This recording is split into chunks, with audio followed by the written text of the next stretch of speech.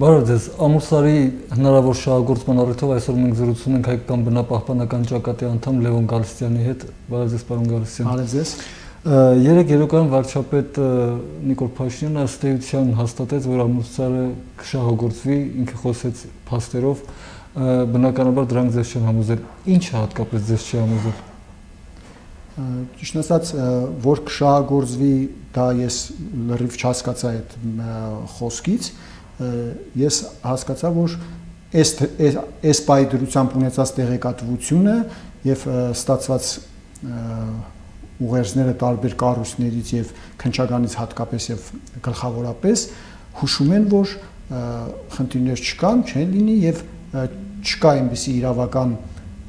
փաստարկներ, որոնք որ կարող են հիմք հանդիսանալ կառավարության համար դատարեցնել այդ գործունեությունը, այսինքն կասեցնել այդ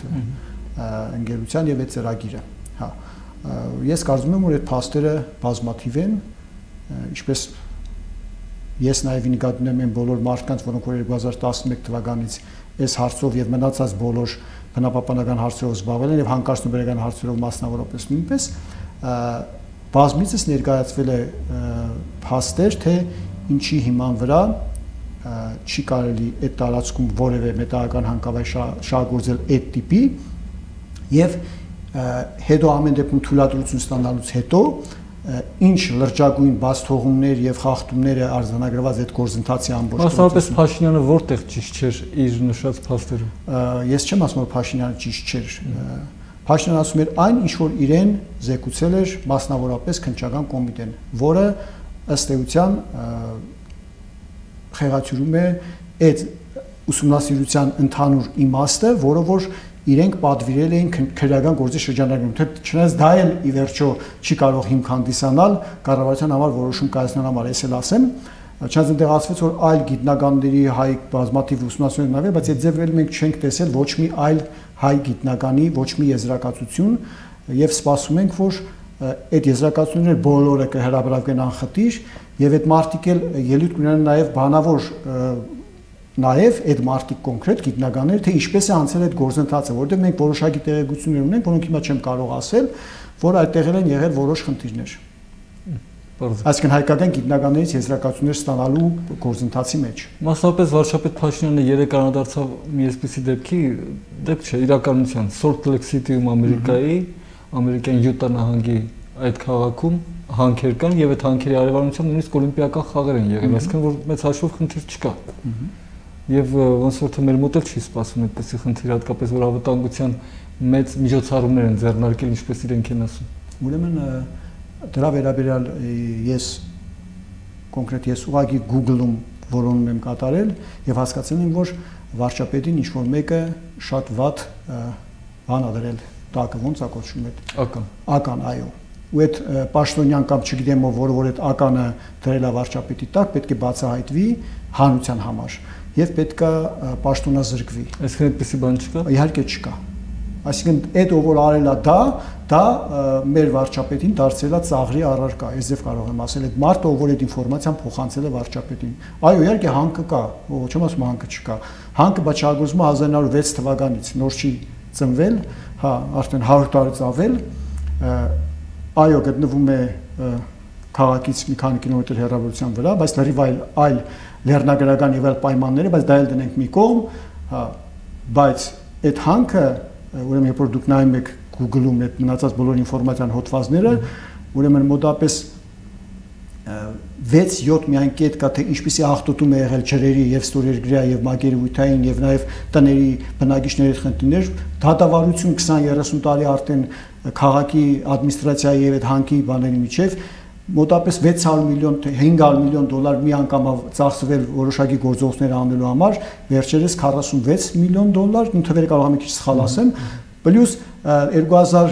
2001-ից մինչև 2011 թվականը մոտապես 30, չէ 38 ասեցի, մի 15 դեպք կա եղել, Աղուսակով այնտեղ կա, թե ինչ քիմիական նյութերի եւ այլ բաների վտանգական նյութերի արտահոս կա եղել այդ հանքավայրի տարբեր բաներով։ Այսինքն այնքան լրջագույն խնդիրներ ունի այդ հանքը, որ ել եմ կրկնում, այդ մարտը, որ այդ հանքի օրինակն է տվել վարչապետին ինքը շատ ված բան է արել։ Պատկերացիք չէ ինչ հասկացա, հասկացա։ Հիմա ես ես շարունակեմ միտքս։ Ես կարտացի նաև որոշակի հատվածներ սղագրությունից կառավարության այդ քննարկման խորհրդակցության, որը որ եղել ամուսարի վերաբերյալ եւ այնտեղ նույնպես հա տեսա որ շատ պաշտոնյաներ ըստ էության ոչ չեմ ուզում բան բարեր ասել, հա, կոպիտ, բայց ոչ հավաստի տեղեկություններ են տրամադրում եւ հայտնում վարչապետին իր բավականին տրամաբանական հարցադրումների դեպքում։ Ինքը շատ տրամաբանական հարցադրումներ է անում, բայց իրեն կոպիտ ասած իրավական եւ այլ տերմիններով փորձում են պատտասնել։ Այսինքն այնտեղ ասում են, որ ինքը հարց է տալիս թե բայց արդյոք եթե այս ձև փոփոխությունները պահանջում եւ այն դրանք մի կողմ պահանջում է թե չէ կամ կարելի է թե չէ կամ ով է այդ որոշումը հրալը մի բան մոռանանք հա արդյոք պետք է նոր փորձակնություն եւ այլն Ունտեղ մարդիկ ասենք ասում են, չէ, հաստատ պետք չի օրենքով եւ այլն ու հիմնավորում են այնքան հեղեղուկ է, որ դա այդ օրենքի կետեր է, էլի, կամ ասենք այդ բոլոր այդ եթե իրանք մասնագետ են ու հասկացել են այդ բանը ամեն ինչը, իրանք չեն տեսել մի հատ པարս բան, որ այս վերջես այդ ուսումնասիրությունը ինքը մեկ անգամ եւս ապացուցեց այն բոլոր փաստերը, որոնք որ բնապահպանները, մնացած մասնագետներն ու գիտնականներն ասում են 2012 թվականից առ այսօր բոլոր անխտիր հաստատվել են, որ գնահատումը ճիշտ չի կատարած, բազմաթիվ սխալներ կա, բազմաթիվ բացթողումներ կա, բազմաթիվ նյութեր եւ էլեմենտներ եւ արտահոսքի պոտենցիալներ գնահատված չի, հա, բանալված չի, որի արդյունքում դու չես կարող ճիշտ վերլուծության եւ գնահատականի գաս թե ինչ հետևանքներ կարող է լինեն։ Եթե դու չես կարող ճիշտ եզրակացության գաս թե ինչ հետևանքներ կարող են լինել, դու չես կարող նաեւ համապատասխան միջոցառումներ, եթե դրանք հնարավոր են իրագործել, որովհետեւ դրանց դեմը առնես։ Այնքան པարզ է դա, որ այդ ամենը գրված է այս փաստաթղթի մեջ։ Ու այս զարմանում որ ինչ որ մեկը չի նկատում դա։ Ու մի հատ էլ ասեմ, այնտեղ փաստաթում կա կոնկրետ մի օրինակ, որը որ շատ ակնհայտ է, որը հստակ գրանցում է, որ ելի չնայած հայկական գիտնականների մինչև այդ ասել էին դրա մասին, բայց բնականաբար նախորդ կառավարությունը բանը տեղ չէր դրել։ Հստակ ֆիքսում է, որ Լիդիանը ներկայացրել է այսպիսի տվյալներ նախորդ շմագում եւ այլ փաստաթղթերում եւ նաեւ իր կայքում, հիմա այս ընկերությունների ուսումնասիրելով բարձր որ դա չի համապատասխանում իրականությանը։ Եթե դա չի համապատասխանում իրականությանը, դա շատ լուրջ հարց է դա, որովհետեւ դրանից է կախված ստորգա ջրերի տեղաշարժման ուղղությունները եւ քանակները եւ ամեն ինչը դրա վրա է հիմնված այդ ամ գաղափարախոսությունը։ Հիմա այս մարդիկ ասում են դա չկա, այս սխալ է այդ եզրույթը Լիդիանի եւ սխալ է գնահատված եւ դրա բանը չկա։ եթե այդ բացահայտվում է այս բանով, դա մեր շրջակա միջավայրի վրա ազդեցության գնահատման եւ փորձակցության մասին օրենքով հստակ կետով թույլ է տալիս, որբիսի ուժը կորցած ճանաչել 2016 թվականին տված փորձականական եզրակացություն։ Եվ մենք այսօր դիմում ենք ուղարկել բնապահպանության նախարարության, որ հիմա անվանվում է ինչ որ շրջակա չգիտեմ ինչի նախարարություն, հա, ուղարկել ենք դիմում, որբիսի այդ փաստի եւ օրենքի այդ կետին համապատասխան ուժը կորցած ճանաչի այդ ուրեմն 2016 թվականի եզրակացությունը։ Օրենքի կետն էլ ասեմ, օրենքի կետը շատ པարզ է։ Եթե եզրակացություն տալուց հետո ի հայտ են եկել նոր էկոլոգիական հանգամանք կամ հանգամանքներ, ապա ուժը կորսած է ճանաչում։ Սա նոր էկոլոգիական հանգամանք է, որովհետև Լիդիանը ներկայացրել է ուրիշ բան, լրիվ դրանով իր ստորեգրաջերի հոսքի բաներն է կառուցել, հիմա պարզվում է դա ընդհանրապես իրականությանը չի ապացուցում։ Դրանից բարձր նոր էկոլոգիական հանգամանք չի կարելի հայտնաբերել։ Այնուամենայնիվ ինչպես է վերաբերվում այն տեղեկություններին, որ մյուս մետաղական հանքարդյունաբերողներին է իրականում ձեռք տալիս Լիդիանի դեմ այս արշավը։ Ուրեմն դա նույնպես այդ ինֆորմացիան երևի էլի հասել է վարչապետին կամ համապատասխան որոշակի պաշտոնյաներից կամ հենց այդ նույն ընկերության եւ իր իր չէ կամ իրան հարակից fake news-երի, այսպես ասած, շրջանառվող բաներից, հա, տեղեկություններից, որտեղ իրենց շատ ձեռնտու է դա այդձև ներկայացնել, որ այլ հանքարդյունաբերական ընկերություններն են մեր դեմ բանում կամ կա անհավասար պայմաններ, որտեղ դա հետագա հնարավոր արբիտրաժային դեպքերում իրենց համար կարող է լինել խաղակարդ։ Հա։ Բայց դա այնքան ծիծաղելի է, որ ասենք մենք դա վաղուց արդեն չենք բանում, բայց ուղղակի երկու նախադասությունով բացատրեմ։ Ուրեմն մենք բոլորս գիտենք, որ բոլոր մետաղական հանքավայրերը եւ Հայաստանում եւ ամբողջ աշխարհում վնաս են հասցնում բնությանը, հաջող անդառնալի վնաս են հասցնում բնությանը եւ մարդկանց առողջությանը։ Հայաստանում դա բացառություն չի կազմում եւ հաշվառնելով Հայաստանի աշխարհագրական, երկրաբանական, ջրագրական եւ մորֆոլոգիական կառուցվածք եւ կենսաբազմազանության բնակչության խտությունը այդ վնասը շատ ավելի մեծ է եւ ավելի վտանգավոր, քան ասենք Կանադայում ենթադրենք կամ ինչ որ անապատում, կամ Ռուսաստանի տայգայում եւ այլն եւ այլն։ Հիմա Այդ հանկավայրերը, որ Հայաստանում գործում են, մի հատ պետքա կողմնորոշվենք, էլի, դրանք ոչ թե այս կառավարությունը տվել թույլտվությունը, ոչ թե նույնիսկ նախորդ, նրանք որի երկարացան։ Իրանք շահագործում են դերևս սովետական միության ժամանակվանից, համայնա բոլորը։ Ու իրանք այդ տարածքները ըստ էության ստեղծվել են որպես հանկարծնաբերական գոտիներ։ Եվ բնակչությունը այնտեղ գնացել է ապրելու հիմնականում, որովհետեւ դառնա հանկարծնաբերող ընկերության աշխատող։ Այս հանկավայրերը համատեն, ասենք ջերմուկի կողքը բացվող հանկավայրի հետ կամ թույլատրվող հանկավայրի հետ, որը որ ջերմուկը լրիվ ուրիշ տնտեսական միջավայր եւ սոցիալական եւ այլ լրիվ տնտեսական կայացած քաղաք է, լրիվ ուրիշ ստատուս ունեցող չի կարող համատել ոչ քաջարանի, ոչ ագարակի, ոչ սոտկի, ոչ ալավերդու, ոչ ախտալայի, ոչ նույնիսկ կապանի, որ կապանը մի քիչ էլի այլ տնտեսություններ ունի։ Ու այդ հանկավայրերը բոլորը խայտարակ ձևով ախտոտել են բնական միջավայրի այս տարիների ընթացքում, այնտեղ ըստ էության մարդու ապրելու համար վտանգավոր միջավայր է, ես դա հայտարարում եմ շատ մեծ պատասխանատվությամբ, որտեղ կան բազմաթիվ գիտական հետազոտություններ, ու ոչ մեկը նոր Հայաստանի կառավարությանը չէր խանգարում, որբիսի իրենք այս մի տարվա ընթացքում փոխեն այն որոշումները, որոնք որ անհրաժեշտ են այդ հանկավայրերին բերելու այսպես կոչված այդ ստանդարտների դաշտ բայց դա չէ նշանակի որ ախտոտումը կարող ես վերացնել այնպես որ ոնց որ վարչապետը նշեց ոչ մի լիտր ջուր ախտոտված դուրս չի գալու դա բան չի լինում հանկարծնաբերության մեջ ցավոք սրտի Պարոն Գարուսյան Լիդիանը ինչպես պարզվում է փաստորեն երբեք չի զբաղվել հանկարծնաբերությամբ ինչու վարչապետ Փաշինյանը սրան չանադարձավ Հա, իսկապես այդպես է։ Հա, այդ ճիշտ հարց եք տալիս, որովհետև երևի մի քիչ խնդիր է հիմի, որովհետև բոլորը դա գիտեն իրականում, բայց քանի որ հիմի հանրային դաշտում եւ համացանցային դաշտում հայտնվել են նոր մարտիկ, որոնք որ կյանքում առաջ անգամ են դեռ իրենք իրենց թույլ տալիս ինչ-որ բան նայել կամ տեսնել, որովհետև առաջ նախորդին ժամանակ չէր թույլատրվում երևի ու իրանց թվում է թե մենք 3 չառաջը ունենք սկսել այս գործողությունները կամ բնապահպանական շարժումը, հա, այսպես ասած, դա պետքա ֆիքսենք էլի, ասենք մենք 10 տարի զբաղվել ենք բոլոր տեսակի բնապահպանական խնդիրներով։ Հիմա բազմաթիվ անգամ նշվել է 2010 թվականից, երբ որ մենք իմացել ենք մյուսները ասել որ Լիդիանը դա ընդամենը սովորական օֆշորային ընկերություն է, որը որ բացվել է 2005 թվականին Ջերսի կղզում։ Այդ ձև ընկերություններ հազարավորներ բացվում են այդ ձև օֆշորային գոտիներում, ինքը ունեցել է երևի ինչ որ այդ բացվելու պայն սեփականատեր, ես չգիտեմ ովքեր են, չի հետաքրում այդ ձև շատ, ու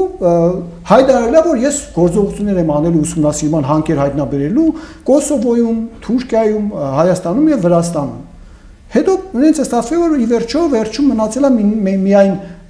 Հայաստանի այս ամուսարի ծրագիրը, մյուս ծրագրերը ըստ էության ընդհանրապես կամ չեն իրականացվել կամ Վրաստանի նման մնացել են ինչ որ կիսատ ասենց ընդհանրապես սաղմային փուլում, հա, մի հատ ամուսարն այսինքն ինքը ոչ մի հանկարծնաբերական փորձ բնականաբար չի ունեցել ու ես համոզված եմ որ չի ունենա որովհետև ինքը ըստ էության ես կարծում եմ որ դա հենց ամուսարի համար ստեղծված բան է այսպես ասած հա նու կազմակերպություն ասեմ կամ ինչա այսինքն ոչ մի փորձ չունեցել ու դա եւս մի արգումենտ է որ արգումենտ է որ դու ոնց կարող ես վստահել հա այդ ձև կազմակերպություն որ ինքը իբր թե կարա աշխատի այն բազմամիլիարդանոց ընկերությունների ունեցած հնարավորությունները, ոչ չնայած դրանք էլ չեն կարողանում, որովհետև այդ նույն հանքը շահագործում է խոշորագույն ընկերություններից մեկը, Lake Social City, բայց դե Մեդալական հանկարծությունը ունի այսպիսի մի հատ բան, հա, կան ռիսկեր, որոնք որ կառավարելի են, կարելի է մի քիչ մեղմացնել, ոչ թե վերացնել լրիվ, բայց կան ռիսկեր, որոնք անկառավարելի են։ Հիմա մենք ամուսարի դեպքում ունենք անկառավարելի ռիսկեր, որոնք որ գրված են նույնիսկ այս զեկույցի մեջ, գրված է որ այս տվյալների հիման վրա մենք չենք կարող ասել, որ դա կառավարելի եւ անվտանգ է։ Նույնիսկ այդ մարդիկ պատասխանել են կոնկրետ այդ հարցին։ Ու այս զեկույցի հետ մի հատ շատ լուրջ բան առաջանում, որ այդ զեկույցը գրված է 300 էջ, լրիվ ուրիշ տրամբանցա մեջ ուրիշ բարերով, ուրիշ արտահայտություններով, հետո վերջում ինչ որ առանձին մեմորանդում է հայտնվել, որ մեջ ինչ որ 16 առաջարկներ է Լիդյանի, որ ինքը ինչ որ բան պետք է անի, փոխի, չգիտեմ ինչ անի, կներեք, բայց ոչ քրեական գործի շրջանակներում հարուցված ոչ քնչական կոմիտեի իրավասությունների եւ ոչ մի հայկական օրենսդրության իրավասությունների մեջ չկա այդ ձեր բան, որ ինչ որ մեկը շմակ փորձակնություն անցած ծրագրին, հետո ասի որ դու այս բաները պետք է իրականացնես։ Չկա այդ ձեր գործառույթ։ Ում մտքով անցել այդ գործառույթը անել, դա էլ պետք է բացահայտվի հիմա ու դրանք շատ լուրջ հարցեր են արդեն մեր համար կոնկրետ, որովհետև պարզվում է որ այս նախնական եւ վերջնական փաստաթղթերի արանքում եղել են բազմաթիվ քննարկումներ 3-4 անգամ ամենակիչը Լիդիանի հետ։ Իսկ իրանք ներկայացել են նախնական